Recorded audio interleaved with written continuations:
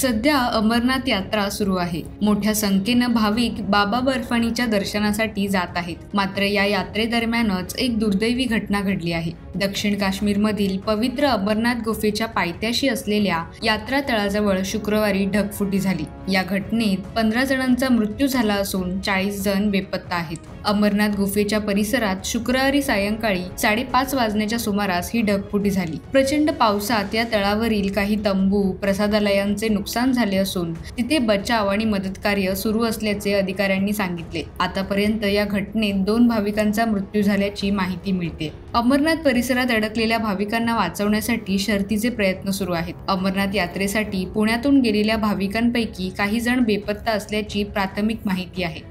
मात्र त्यांचा अद्याप मृत्यू झाल्याबद्दल माहिती प्राप्त झालेली नाही. मंत्रालयातील आपत्कालीन कक्षाशी सातत्याने संपर्क करण्यात येत आहे. मात्र याबाबत संबंधित विभागाने रात्री उशिरापर्यंत दुजोरा दिला नाही असे आपत्ती व्यवस्थापन अधिकारी विठ्ठल बनोटे यांनी सांगितले. या घटनेबाबत काश्मीरचे आयजीपी विजय कुमार यांनी अधिक माहिती दिली आहे. पवित्र गुहेच्या परिसरात ढगफुटी झाल्यामुळे गुहेच्या पायथ्याशी असलेले काही टेंट पाण्यात वाहून गेले आहेत. जखमी झालेल्या भाविकांना हवाई रुग्णवाहिकेच्या माध्यमातून रुग्णालयात दाखल करण्यात आले आहे. सध्या परिस्थिती नियंत्रणात आहे अशी माहिती त्यांनी दिली.